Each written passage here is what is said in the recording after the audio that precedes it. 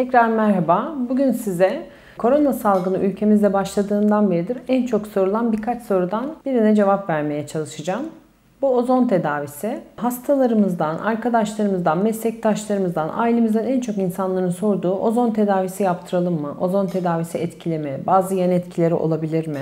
Nasıl kullanılıyor? Nerelerde yaptırabiliriz? Yaptırırken nelere dikkat etmeliyiz gibi pek çok soru. Ben bu bölümde özellikle size ozon tedavisinin kanıta dayalı tıpta yani biz hekimlerin kullandığı literatürdeki yerinden bahsederek ozon tedavisi hakkında bilgi vermeye çalışacağım. Bir kere yeni bir tedavi değil ozon tedavisi. 1800'lü yıllardan beridir var. Nikola Tesla'nın ilk ozon jeneratörünü bulmasıyla beraber hayatımıza girdi aslında. Daha sonra Almanlar tarafından daha kullanılabilir bir hale getirildi insan vücudunda. Ozonun etkileri şöyle keşfedildi. Ozonun bir bakterinin hücre duvarında ki yağ tabakasını çok hızlı bir şekilde oksitlediği ve bakterinin buna dayanamayarak çabucak öldüğü gözlemlendi.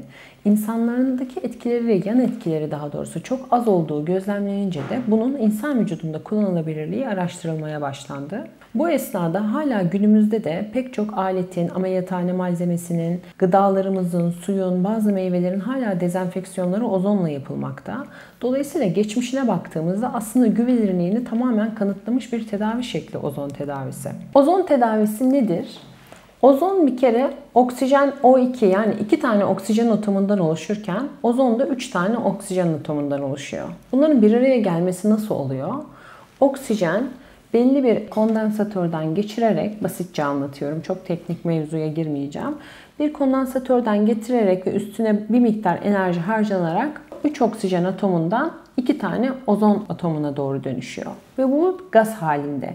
Çünkü biz onu oksijen tüplerinden elde ediyoruz ve gaz halinde ozon oluşturuyoruz.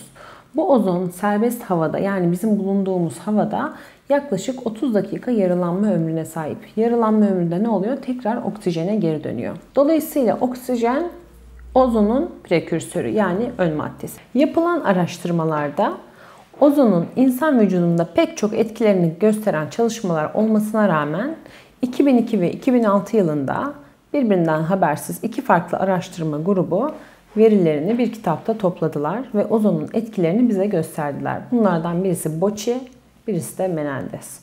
Bunların araştırmaları sonucunda pek çok ortak veriye ulaşıldı kanıta dayalı olarak. Birincisi ozon tedavisi insan vücudunda ne yapıyor? Bizim kanımızda oksijen taşıyan al yuvarlar dediğimiz eritrositlerimizde 2-3 digliserofosfat miktarını arttırıyor. Yani eritrositlerin de oksijen taşıma ve bırakma kapasitesini arttırıyor. Günümüzde çok çok önemli. Neden? Çünkü hepimiz pek çok hastalığın aslında doku hipoksisi dediğimiz oksijenasyonunun az olmasından kaynaklandığını biliyoruz. Dolayısıyla eritrositlerdeki bu oksijen taşıma kapasitesinin artması birincil olarak hastalıklarda ve normal insanlarda çok tercih edeceğimiz bir durum. İkincisi Bocci ve Menendez endotelial nitrik oksit dediğimiz. Nitrik oksit çok önemli bir materyal. Çünkü nitrik oksit çok önemli bir vazodilatör. Yani damarları açıcı bir materyal. Bu damarları açıcı materyal ne yapıyor? En büyük damardan en küçük damara kadar hepsinde bir dilatasyon, gevşeme yapıyor. Böylece kanlanma artarak dokulara daha fazla oksijen ulaşmış oluyor. Üçüncüsü mitokondriler yani bizim hücrelerimizin enerji oluşturan materyallerinde daha fazla enerji üretimine sebep oluyor. Bunu dolaylı olarak keşfetmiş olmuş olsalar da iki araştırmacı da aynı sonuca varmış. Günümüzün özellikle korona salgınında ve geçmişteki Ebola salgınlarında da en çok önemli olan konulardan bir tanesi de ozonun immün modülatör yani bağışıklık sistemini düzenleyici etkisi. Bağışıklık sistemini düzenleyici etkisinin yanında da inflamasyonu azaltması ozonun en sevilen etkilerinden bir tanesi. İnflamasyon bildiğiniz gibi vücuttaki iltihabi süreç. Bazen vücudumuz içerisinde oluşan iltihabı yani inflamasyonu kendi başına durduramıyor çok yüksek miktarda olmayan ama tükettiğimiz gıdalara bağlı olarak bazı enfeksiyonlara bağlı olarak bazı kronik hastalıkların sonucunda vücudumuzda sürekli bir inflamasyon oluyor.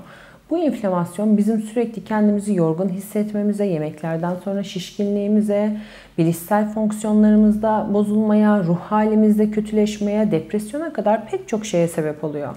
Dolayısıyla ozonun bu inflamasyonu azaltıcı etkisinin bulunmasıyla beraber işte bu tip şikayetlerde çok çok fazla kullanılmaya başlanacağını bildirmişler. Ve bir başka önemli etkisi de hücre içerisinde glutatyon sentezini arttırması. Glutatyon bildiğimiz gibi başka bir antioksidan mekanizma. Bugün dışarıdan da pek çok damar yolundan veya ağız yoluyla glutatyon tedavisi alıyoruz.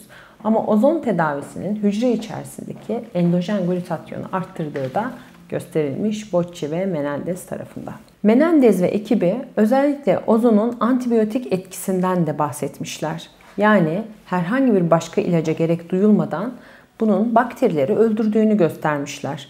Dolayısıyla bunun üzerine başka araştırmalar da yapılmış. Mesela 2002 yılında Zamara ve arkadaşları bir farenin karnına kendi kakasını vermişler. Basitçe anlatıyorum. Hemen arkasından da ozonu verdiklerinde aslında karın zarının iltihaplanmasından ölmesi beklenen farelerin %62'sinin ozon tedavisinden sonra yaşamına devam ettiği gözlenmiş. Başka bir araştırmacı da bunun yanına bir de antibiyotik ekleyince farelerin yaşam süresi %92'ye kadar uzamış. Dolayısıyla bu bize neyi gösteriyor? Ozon tedavisinin aynı zamanda da canlı vücuttaki etkilerini gösteriyor. Tabii son olarak da acaba viral enfeksiyonlarda ozon etkili mi?